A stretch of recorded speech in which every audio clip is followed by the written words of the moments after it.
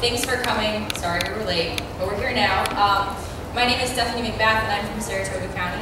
I'm Rachel Marderstein from Westchester County. And we're going to briefly go over what the program is about. As Debbie said, uh, it's a one-year program, and most of us are juniors and seniors in high school. Uh, it's run through the ProDairy program at Cornell University, and the purpose is to broaden our understanding of careers in the dairy industry. A lot of us coming into this probably knew we wanted to go into the industry, but we didn't know where or how. So I think this was really crucial in uh, figuring out what we want to do with the rest of our lives. So in our presentation, we're going to recap all of our activities throughout the year. And we just want to say thank you again for sponsoring and supporting us all year long. So our portion of the presentation is about the National 4-H Dairy Conference that we attended in Wisconsin, and two of our group mates aren't here today, but we're going to do it anyways. All right, so the first thing we did was all of us met at the Rochester airport. Some of us knew each other from other things, but not everybody. So we met there, we um, flew out to Madison, and we spent three days touring Wisconsin dairy farms, just as a group, not with the conference. So that was really interesting because we started to see a lot of uh, differences between farms in Wisconsin and farms here in New York State before we even got to the conference. So while we were there, uh, we met over 200 attendees from the United States and Canada, and it was interesting to see that although there were 20-something of us headed out there, some states only sent one person, some states had an application process. We got to meet a lot of interesting people, um, and the purpose of the conference was to expand our knowledge of the industry and enhance our leadership skills, similar to the program that we're in now. It was held on the UW-Madison campus. The first day we went to Fort Atkinson, Wisconsin, and we visited the Hoard's Dairyman Farm. We got to take a tour and see all the famous Guernsey herd there. Um, it was interesting to see how they operate. And then we got to see where the magazine is published, and we learned about um, different scholarships and internships that Hoard's Dairyman offers, as well as where they actually print the magazine. Um, then we went to the National Dairy Shrine, where we got a tour of the museum, and we saw pictures of the famous cows that we all love. We actually saw a couple pictures of the famous people that we all love too, so that was pretty awesome. We also went to the NASCO Distribution Center, and we it was interesting for me to learn that NASCO just doesn't do farm and ranch supplies, it also does arts and crafts and school supplies and things like that. So like we got a tour of the whole center, and we saw some of the animals that they distribute out for scientific purposes as well. We also went to ABS Global, um, and we watched the semen collection there. They have a barn that's kind of the history of ABS, and, and all the famous bulls are up on the wall. That was pretty interesting as well. So while we were at the conference, we were able to participate in a bunch of seminars. Uh, one of the seminars was called Fun with Dairy Foods with Bob Horton. He's from Ohio State University. Um, we were able to make ice cream using liquid nitrogen and mix different flavors. And the purpose was to learn the importance of protein in milk and dairy products such as cottage cheese and yogurt. Um, another seminar we were able to do during the conference was called Being an Advocate, and that was to help us develop skills to interact with consumers in, with who have negative comments that they put on Facebook and Twitter and Instagram and how to portray how the dairy industry is beneficial. And then we were also able to do some seminars on campus, on the campus. Uh, these are some of them, AI, farm finance, food evaluation, marketing, and we were able to pick three out of that whole list and. That's Maddie doing the, uh, I think the bio. Um, some seminars that we were able to both do was the rumen, where we were able to look into a fistulated cow, which has a whole cow sticker, and into the rumen, and we discovered the role and development of the rumen. Uh, another program we were able to do was the food evaluation. We sat in a room and tasted different dairy foods and learned the difference between real and artificial. So while we were there at every meal, we actually got to hear from some pretty amazing people, and we heard from like six different speakers. These were a few of the ones that we that really kind of we went home with memories of their speaking. One of them was Matthew Bull, who is a dairy focused consultant for Cargill. He lived in New York. He's from New York. He graduated from Cornell, and he talked to us about his career path, where he got to where he is now, how he did that, and the importance of leadership in the industry. Kristen Olson is the 66th Alice in Dairyland, so she spoke to us about how she bridges the gap between the. Um, and that's similar to the Dairy Princess program here in New York State, but she also gets paid a salary, so that's pretty cool. And then we had Matt Moore, who's the VA Commissioner of Agriculture, um, and he talked about his days in 4-H and the importance of 4-H and how it got him where he is today, and then his role as an advocate for agriculture and what he's doing in Virginia.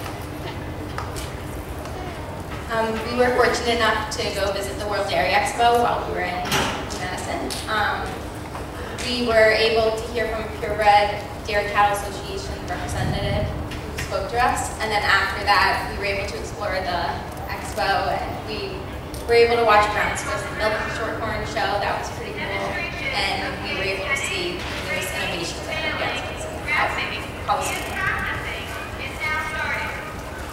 Um, some activities during the conference that we got to do was the first night we got an exchange with a bunch of the other states.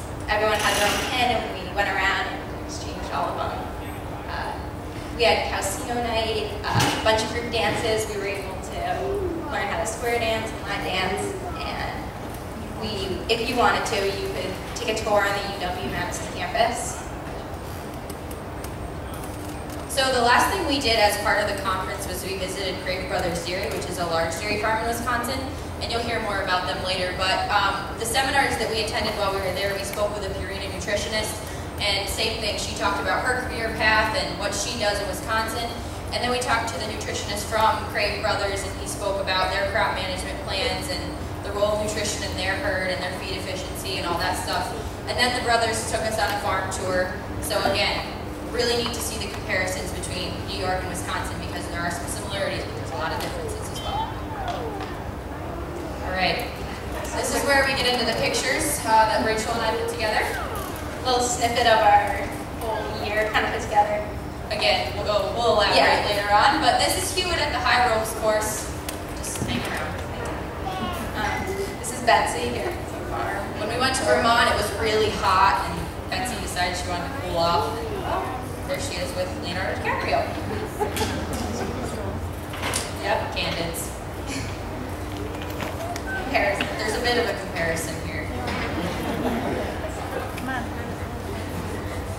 A lot of long days Yeah. junior dairy leaders. We were really tired and exhausted, and Carrie couldn't handle it anymore, and I don't know what yours is doing. We had a lot of fun. JDL. Expressions, we're so happy. Love JDL. And there was a lot of sleep. Yeah. Long days. You gotta have your rest. even if it's on an airport floor. Okay. All right, at this point, we're going to ask the next group to come up and talk about small farm and niche markets.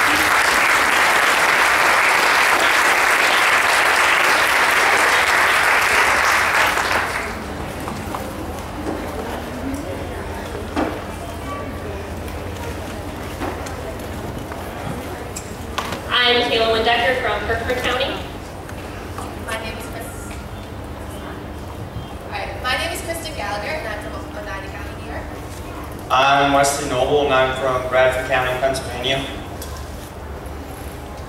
I'm Cody Sears, and I'm from Otsego County. Uh, we'd just like to explain to you a little bit about the small farms and niche markets that we visited this year. Okay, so one of the places we visited was Dutch Oak Creamery. It's owned and operated by the Ockman family in Chenango Forks, New York, which is just outside Binghamton. They own 180 acres and milk 130 total head of cows. They began processing milk in the spring of 2013, and the reason they chose to do this was because it was innovative and it was an affordable option for them doing the micro creamery in their renovated garage. Uh, they had an on-farm self-serve store, and they, they also went to farmers markets where they like to keep a familiar face so people could recognize them and their products. And then they also sold to other, local stores. Some of their products include cheese, European style yogurt, which is yogurt you can drink, and then they also bottle milk. And they also have regular open houses at the farm. Uh, back Um, I'm Maddie Golden from Orange County. We also went to the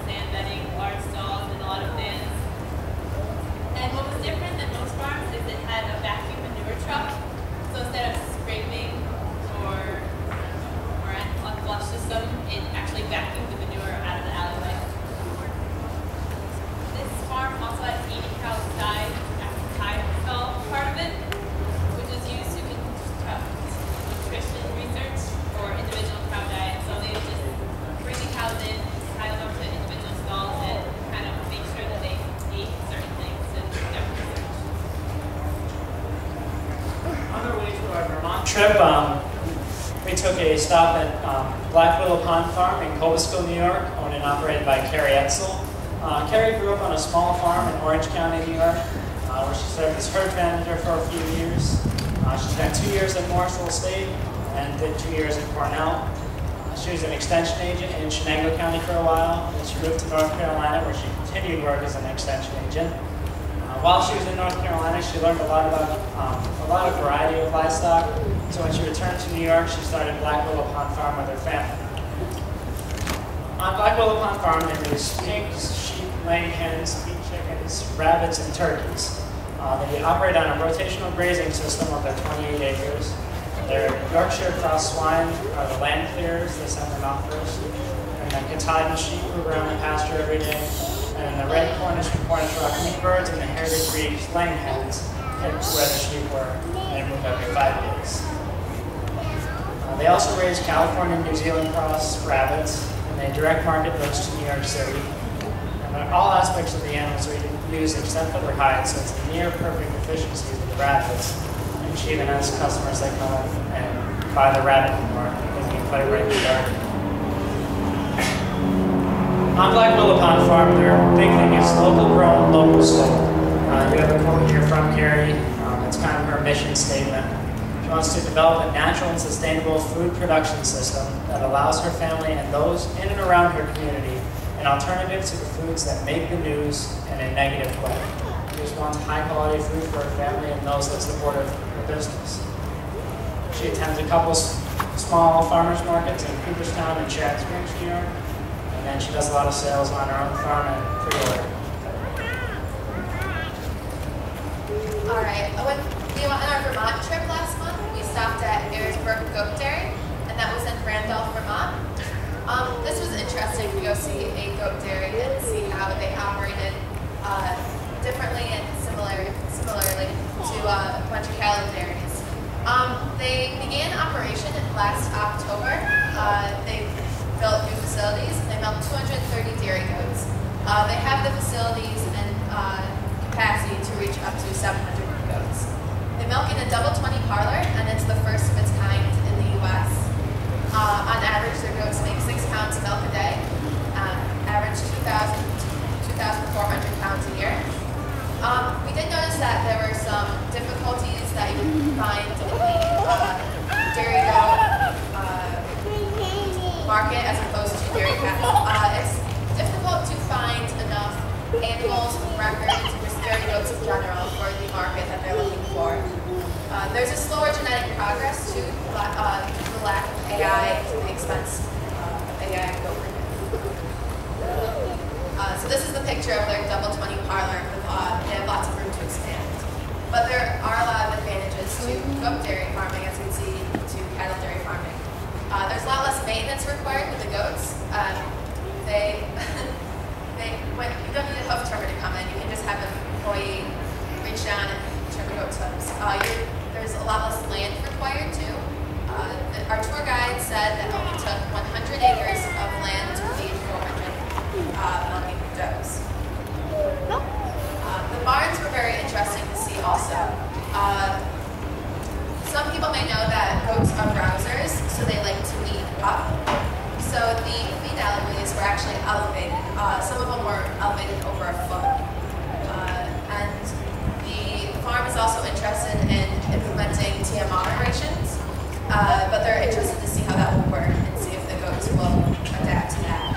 Uh, some of the other aspects of the uh, barns were they had lighting implemented that would the animals into heat because goats are seasonal breeders. Um, and they had an interesting ventilation system, especially in the birthing center where uh, the air exchange would be at the level of the baby pits. Uh, and this goat, or this goat farm started from a group of seven different investors, uh, and they began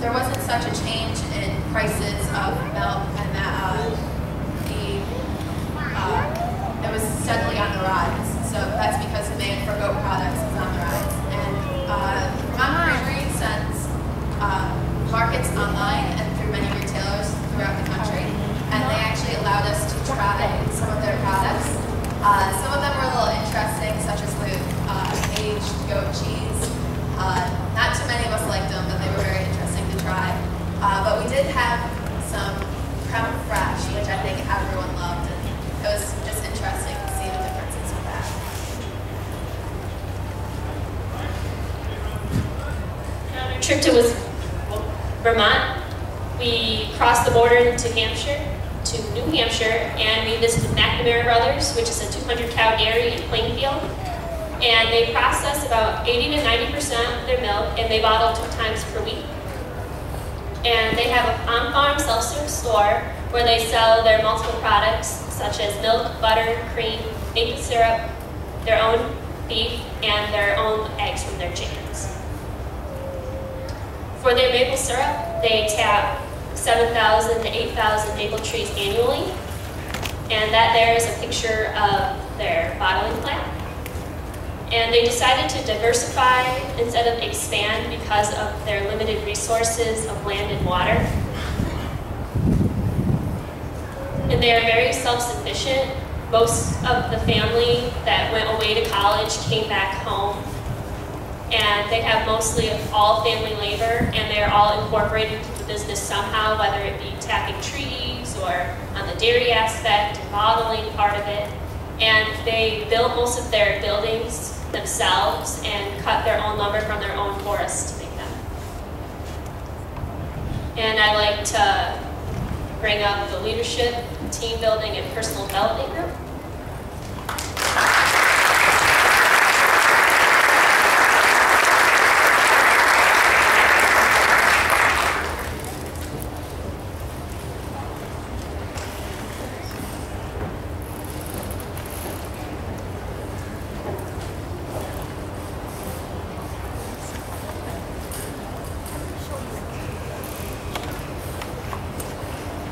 For this part of the presentation, we're doing the leadership, team building, and personal development aspect of it.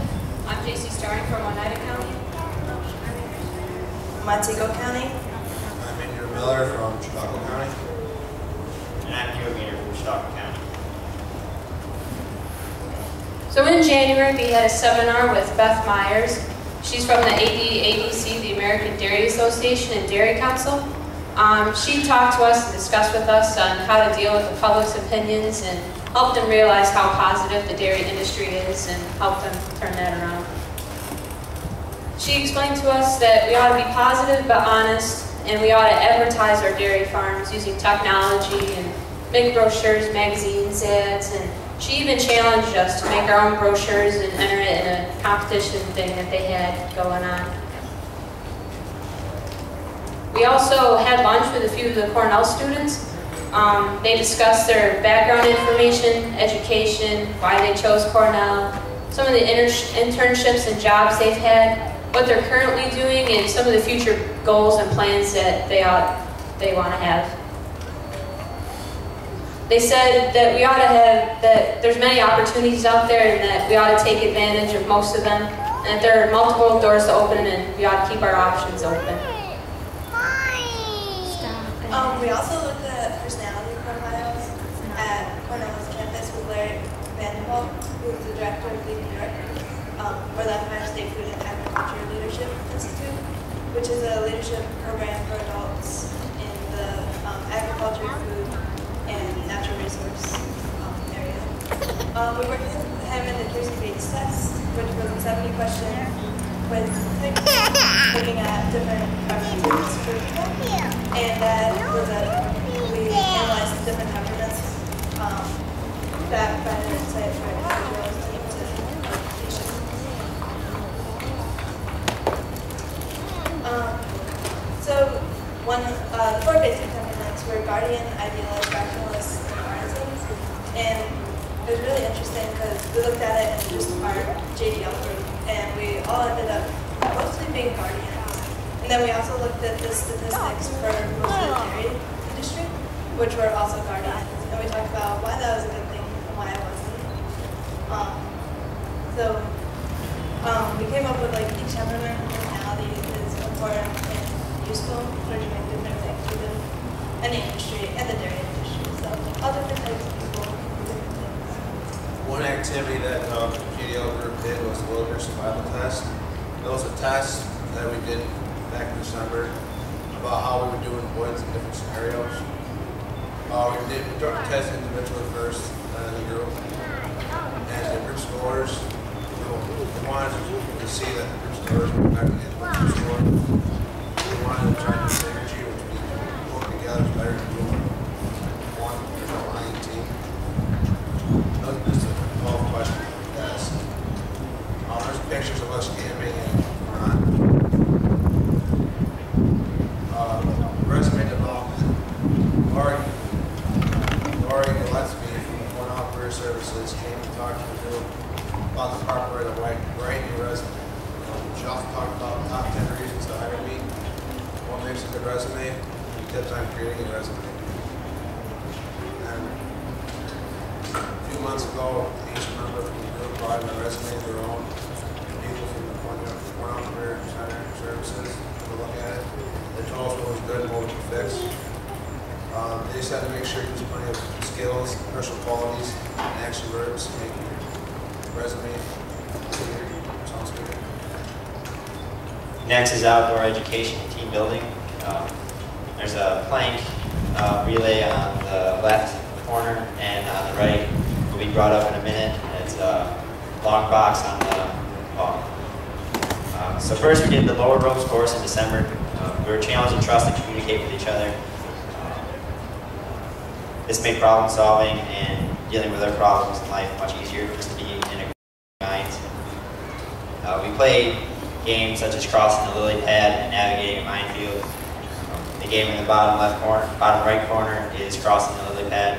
Uh, you're not allowed to take. Um, you always have to have something touching the pad, otherwise the pad is supposed to float down the river and you can't cross. Um, then uh, we did. We all had to get in onto the uh, long box balanced on a log, and we had all had to get on the log without or on the box without letting the box touch the ground. Uh, next, we did the high ropes course. Uh, this was a little more challenging. Uh, one of the things we had to do was walk across a log that was suspended 15 feet in the air. Uh, another thing we had to do was four people had to climb to the top of a, like a pedestal. And it was on uh, like a telephone pole, and on the top of it was a, it's like a stop sign, but it's even smaller. Um, that took a huge amount of communication, not only with the four climbers that were on top, but also with the ropesmen that were on the ground. Um, once we got up there and we were all settled in, uh, they challenged us again to break out of our comfort zone and instead of huddling close together, we'd move back, be leaning out, holding hands. On the upper left is uh, two people uh, using their weight against each other to balance across two cables. Um, the lower left is us trying to get onto the pedestal. Um, upper right is being on the pedestal and then separating out to hands. And the lower right is that 15 foot log suspended in the air. The last thing we did, um, we went tubing in Vermont. Um, it was on a three day camping trip. Um, uh, when we got to the tubing area, uh, we already knew that we were going to be racing the thunderstorms. Um, but we got to the beach and our instructor told us, what all we were to do if we were in that sort of scenario. And we had we got to the beach and we had to wait um, probably an hour, 45 minutes, something like that, um, for a smaller storm to clear off. And then he finally let us get into the water. Um, but we weren't in the water for 30 minutes before we saw our first lightning strike. So we all had to get out and line up on the uh, riverbank and sit on our tubes 15 or 50 foot apart from each other. And after every lightning strike, we had to wait 15 more minutes before we could get back into the water. So all in all, we ended up waiting and sitting on the bank for two hours, and it was torrential downpours. It was freezing cold. Some of us, our lips turned blue. Um, two kids were stranded on the island. Uh, they decided to have tea.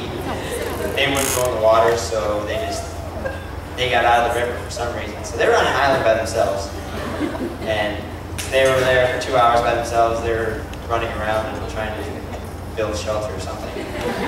Um, so in that two-hour time period, the, four, the river had risen uh, four feet, and we were all cold, we were all freezing. Um, but by the time the storm had passed, we all had to get back in the water and work as a team to get back to the uh, landing zone.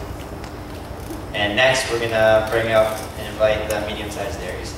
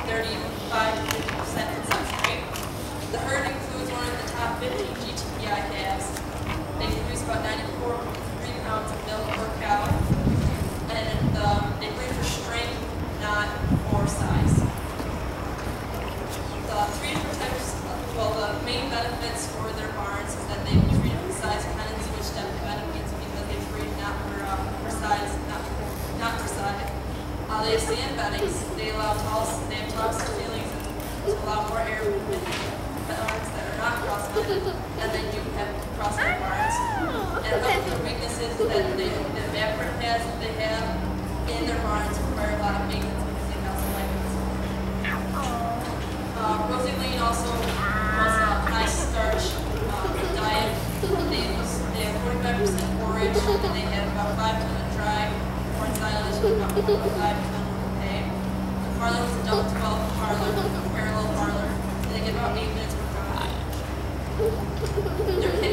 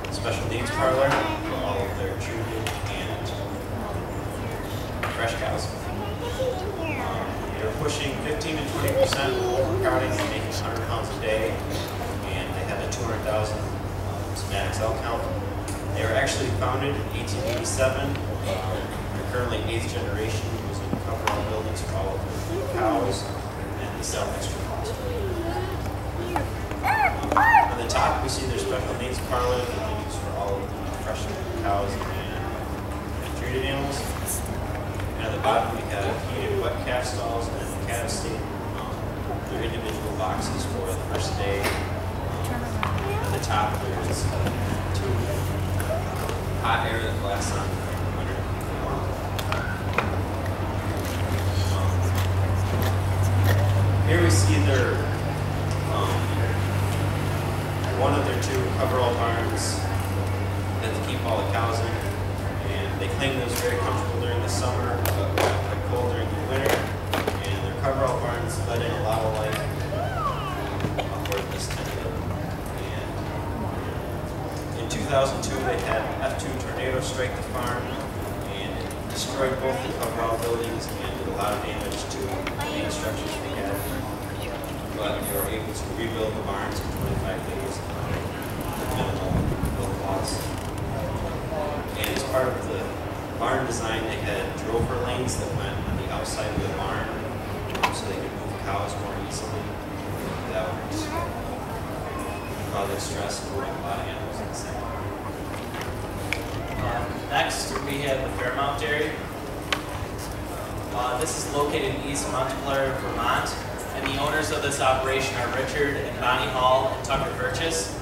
And they are milking 1,200 cows, and their goal is to keep the cows happy and healthy at all times. Uh, One of their outreaches to the community is they created the Utterly Crazy 4-H Club, and this is an outreach to the youth as they want to interest them in the industry. And also they have a 360 degree view of mountains, so they have a really nice wedding venue that they have available. Uh, one of the cool things that they had at the dairy was they had the new calf mob feeder, and that was built 2011. And this allows the calves free choice milk and has a new ventilation system that supplies the calves with fresh air at all times. In the barn, there are eight calves per pen, and they can have 130 calves in the whole barn. But one of the problems was they had management issues as they had to adjust to uh, the new needs uh, to keep the calves healthy and monitor, monitor them. And these are our fearless leaders coming across the top of the screen. At the Fairmont Dairy, they're always transporting cows, and they uh, stopped tail docking because of public uh, concern. And they're two, two uh, the children of the owners are Claire and Ricky, and they actually went through this program, and they went to Cornell. But now they worked off the farm for a couple of years. They worked as uh, a farm credit agent and a Holstein classifier, but now they've worked themselves back into the dairy and they want to come home. Um, we went to Newmont Farm in Vermont, and their owners were Wal- Walter and Margaret Gladstone, and their son, Will Gladstone, was a herd manager. And Will wished that he had gone somewhere else to work before he returned home, just so he could get more experience. They, their herd size is 1,250 cows, and they use sand to bed, and they bed heavier than most, so I mean, the cows are more comfortable. Um, they crop 1,800 to 2,000 acres, and 190 of those are pumpkins. They have 130 calves on milk, and they bed the shavings every three weeks. Calves are in groups of 10, and they are weaned by 6 to 7. They have a double 20 parallel parlor, and it's a direct load, which the milk loads right onto the trailer, which there's not a lot of those, and we saw a lot of them in Wisconsin actually. And um, the milk will fill the trailer in about 14 hours. They average 84 to 87 pounds per cow, and they ship their milk to Akron. Uh, Last farm in Wisconsin was Crave Brothers Farm, fifteen hundred cows, two Holstein cow dairy, seventeen hundred acres, they average about thirty thousand pounds per cow. Uh, there's four brothers, Charles, George, Thomas, and Mark. They uh, power their farm and their cheese plant with methane digesters, and they use the manure out of methane digesters to uh, send it through a liquid solid separator, move the solids and fed their cows. The cheese plant, they make cheese. These are their uh, most bought. Yeah. Uh, Barber string, skim cheese, fresh mozzarella, and mascarpone. Um, at the Windsor Dairy, they milk 1,300 cows and they crop 242,400 acres of corn and 3,600 acres of grass and alfalfa. And they're located in Harpursville, New York. Uh, the Windsor Dairy is a multiple generation dairy farm, and the new generation that's coming back to the farm is Stephen and Eric Windsor. And Eric and Stephen, they went to college at Cornell, and, I, and they went through this program as well. But um, Eric had a spot open for him when he came back to the dairy on the crop side, but Stephen wasn't as fortunate as uh, he wanted to work on the herd side of the dairy, so he has to work in as the calf manager, and he has had um, some considered off the farm employment to get more experience as well. And the boys are very involved in the community, as in the fire in the fire department, and they have a lot of employees that work on the school board as well. And this is um, where Stephen works in one of his calf barns. They have a tunnel ventilated barn, and they use um, they do not have a mob feeder in this barn, but in their other barn they use a mob feeder as well. Uh, I'd like to invite up the next group of technical skills in the industry career fields.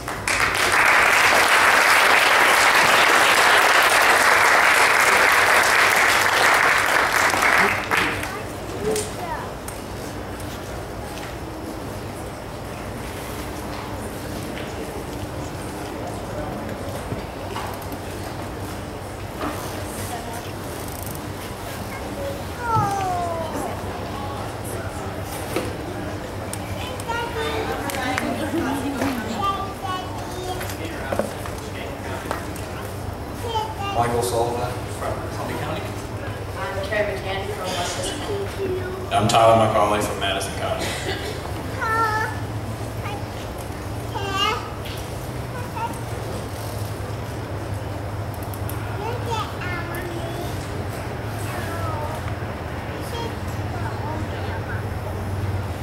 Um, one of the programs we did this year was Dairy Discovery, which is a statewide annual program that's offered to all youth that are interested in the dairy industry.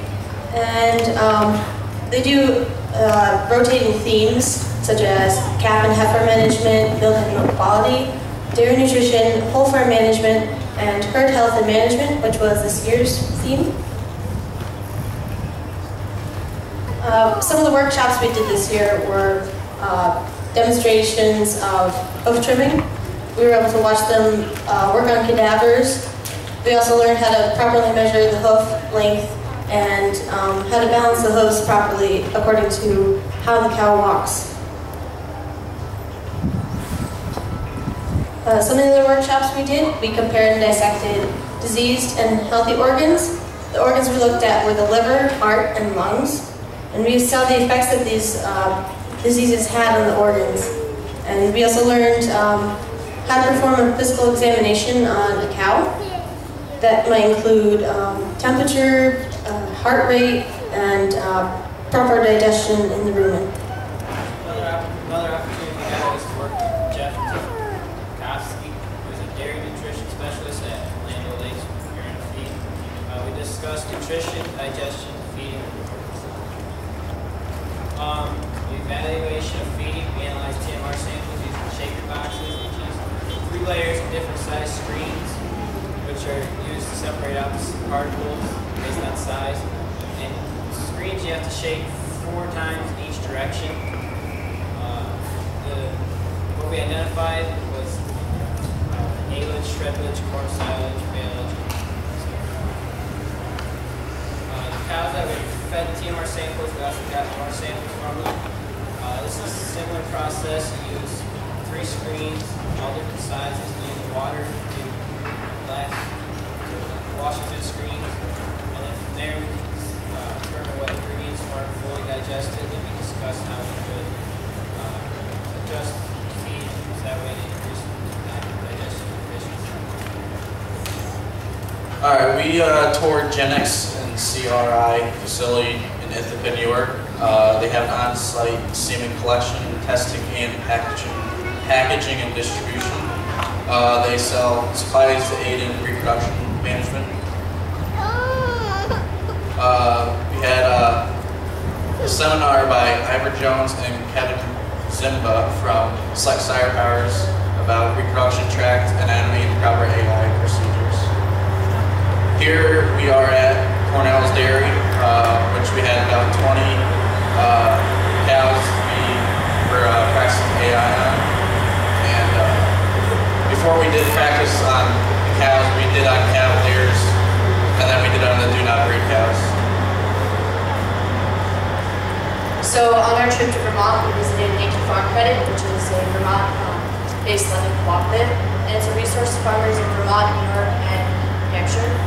It offers competitive loans, leases, tax preparations, financial records, and. So when a farmer asks or requests a loan, Farm Credit looks at five factors, or their five C's, and they are character, which is what they emphasize because when they're building relationships with their customers, uh, this is very important. Capital, capacity, conditions, and collateral. And based upon these factors, they will determine whether or not they will approve a request for a loan. Back earlier this year, we had Bruce Dean from Team Associates come in and talk to us.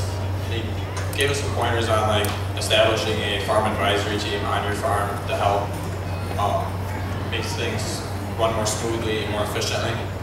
And uh, it works with many people from all aspects in um, industry. Um, while I was here, we went over some advantages to a farm advisory team.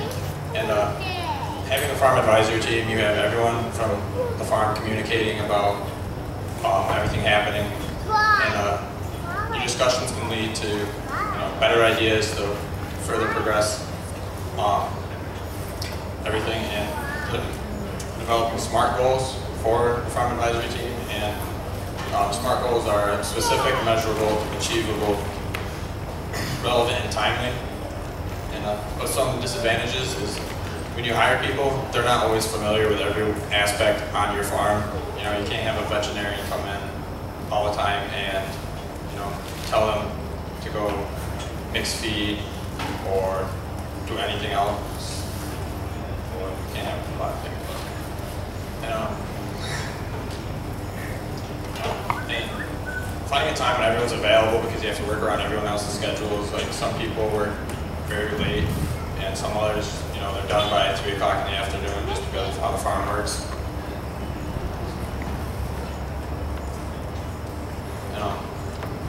Talk about money personalities.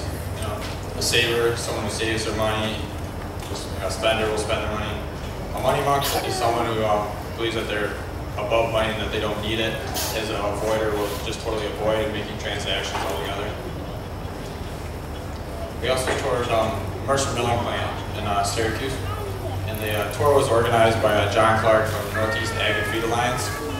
And uh, Mercer Milling provides formulas, minerals, um, vitamins for one of uh, 13 states around here and uh, various types of animals. And, um, they also sell milk replacer, fat products, medicated feeds, and um, other supplies.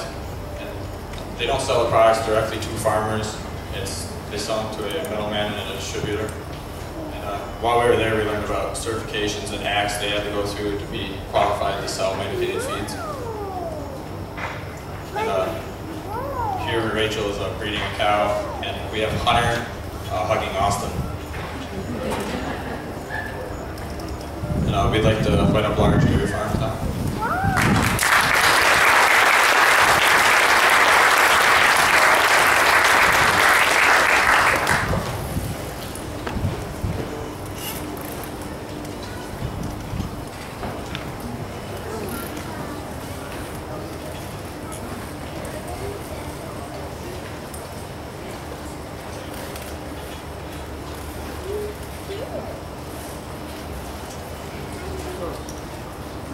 Hi, I'm Claire from Tyler County. I'm Jennifer King from St. Lawrence County.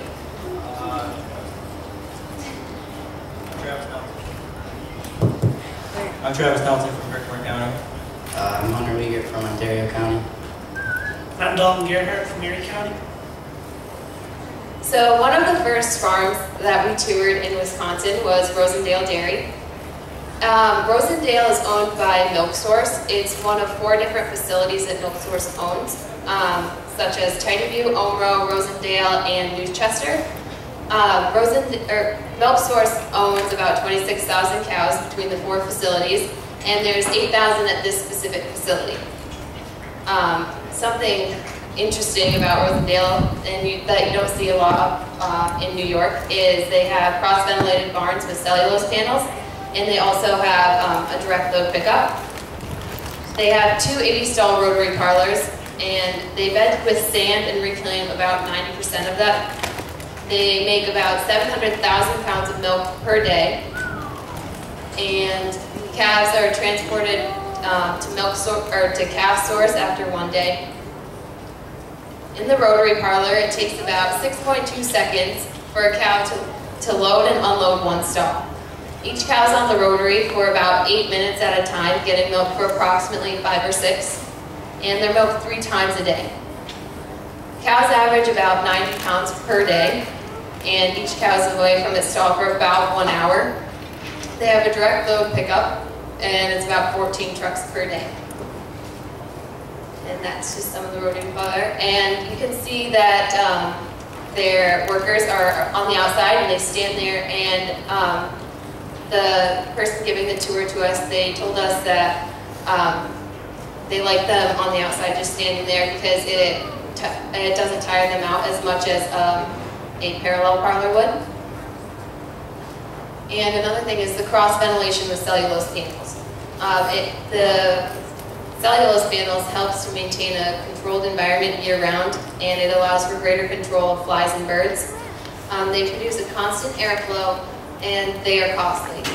Um, some of the disadvantages are that the cellulose panels get clogged very easily, um, but the water runs down the cellulose panels and um, the fans on the opposite side suck the air through.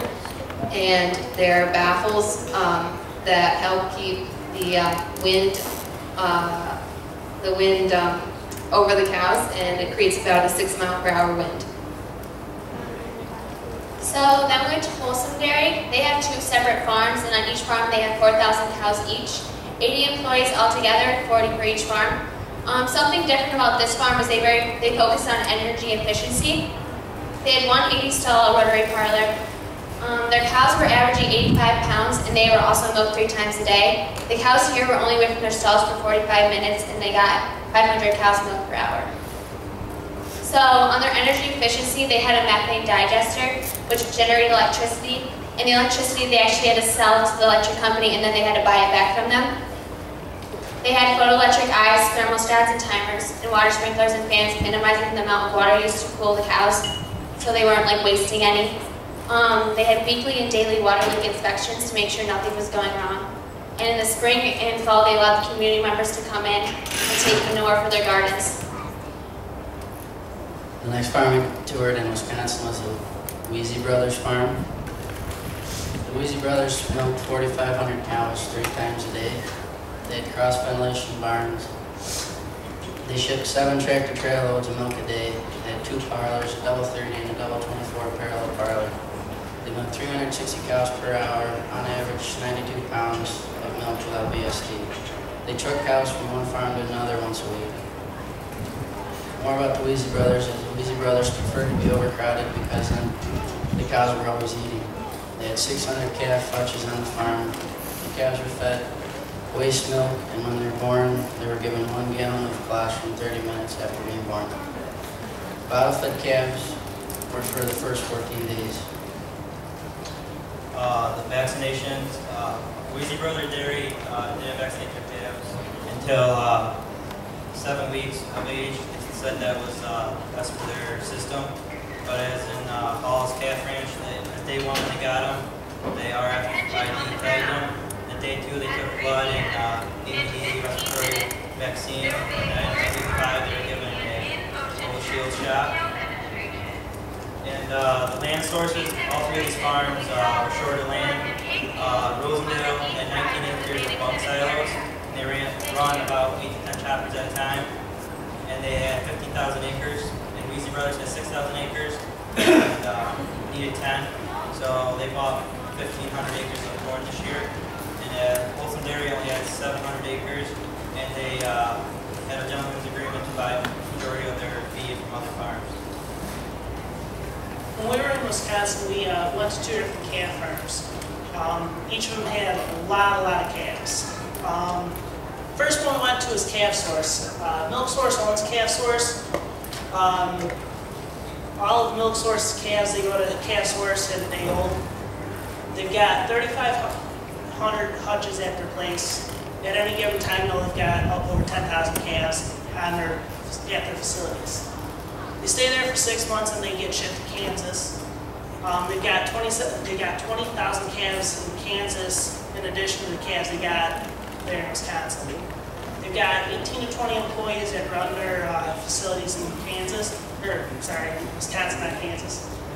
Um, they wean calves at 40 days of age and bed the, the calves with uh, straw and they clean them out every two months. Then the other place we went to was Hall's Calf Ranch. Hall's Calf Ranch started in 95. Um, they started off with 15 hutches. Now they've got uh, 7,000 calves that are under four months of age there. They uh, pick up their calves at one day old from various farms. They've got 26 farms that are um, all together to ship the calves there. They don't grow any feed for the calves. They buy all the feed from, for them. Their calves get weaned at six to seven weeks old.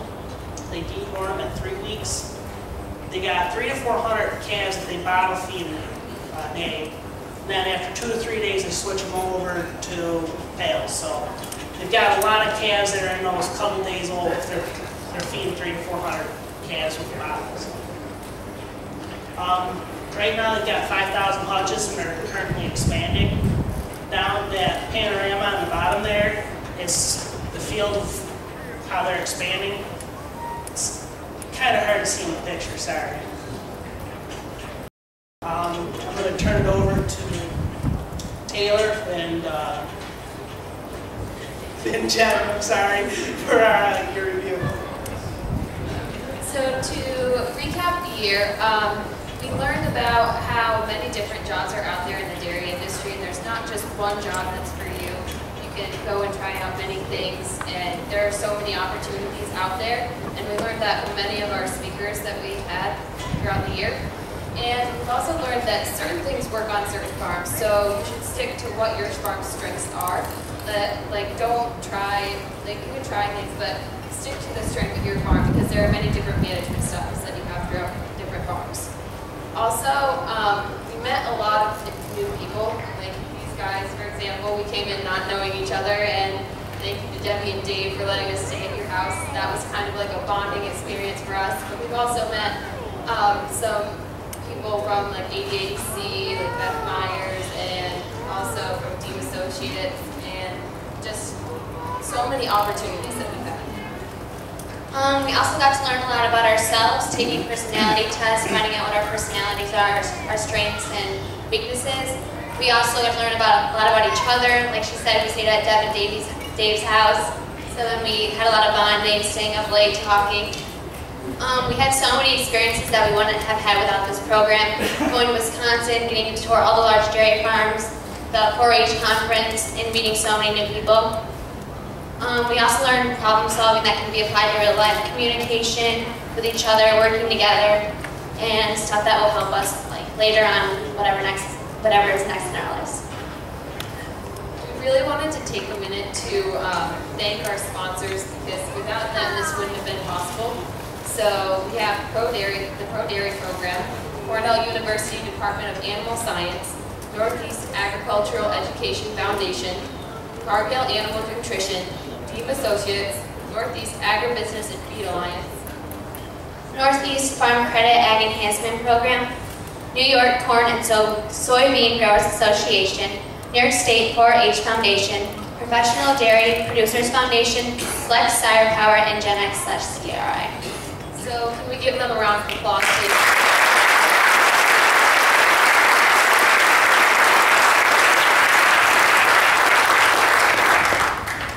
Um, so at this point, I think we're taking questions.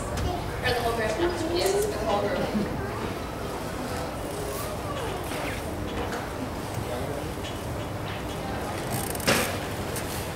They do an awesome job up there.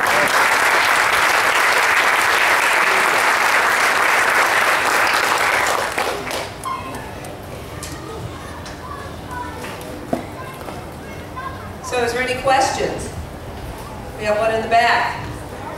You talked about uh, using social media, and I'm curious what the findings of the group are as far as how you can use social media to further agricultural careers or whatever you're talking about. Did you guys all hear the question? How are you guys learn what what you learned about social media and how have you used that to support the industry? Anyone can answer. Um, well, I can definitely say this for the entire group. We had lots of seminars and lots of different findings as far as how to promote our image in the dairy industry. Um, we went to a very large seminar in Wisconsin that uh, the lady talked to us about promoting our image and telling our story. We spent a long time working on how to tell our story and how to tell our background to make it personal. And social media really helps because you can be on there posting pictures of your farm, what you're doing, and it can just help promote your uh, positive image. So just by helping, uh, making things personal and by using social media for that. Are some of you doing that? Yes. Um, yes.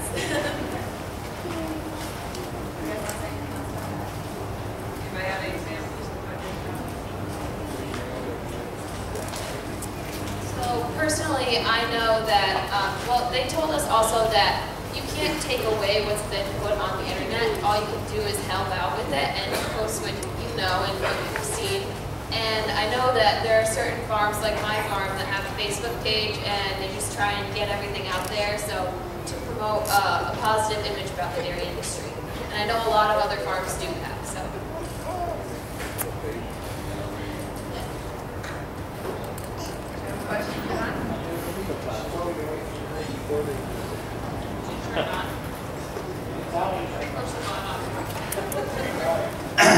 I got a question for Hunter Weger. Is he still here? We knew you were going to do that to him.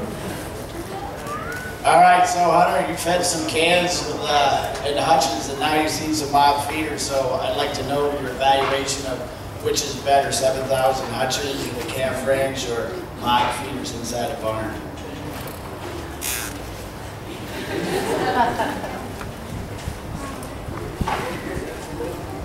From my- from what I've seen, it really depends on the farm.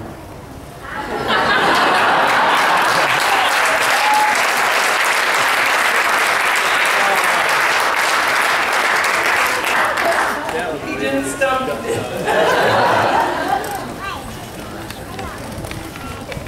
Are there any more questions? Another question back? Uh, What are some, what would you say are key differences between Wisconsin and New York farms you mentioned about that? I'm just curious about the key differences. All right, so differences between Wisconsin and New York. Um, so for a lot of us, I know for me, I had never seen an 8,000 cow dairy farm before we got out there. Um, just the way that they operate are a lot different. Obviously, it's New York on a larger scale, but like they said, we have a lot of direct load farms. I know there are some in New York State, but it's not very popular. More people are implementing that now.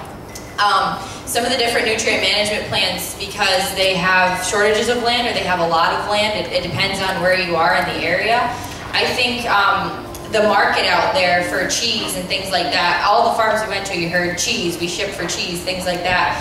It's, it's huge, and a lot of those farms, that's their goal is they want to make a lot of milk and they want to boost that cheese industry. So I'd say the size and scale, and again, it depends on each farm. Like Hunter said, every farm's different.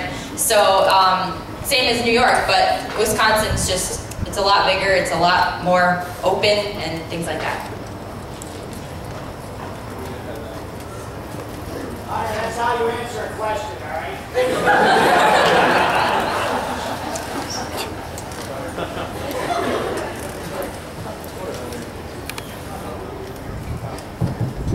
I I have a question. Uh, I'm very jealous of the experience that you uh, young people had. Uh, What a wonderful opportunity to see those farms in Wisconsin and other places and talk together and so forth, share ideas. How do you, does a young person get selected to do all this?